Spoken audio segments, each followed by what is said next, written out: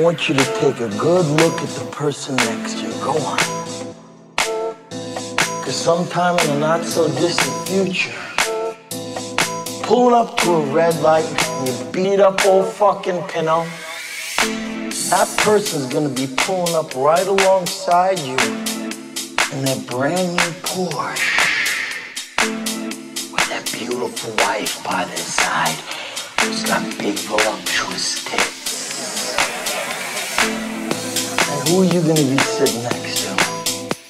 Some disgusting wildebeest with three days of razor stubble and a sleeveless moo crammed in next to you in a carload full of groceries from the fucking Price Club.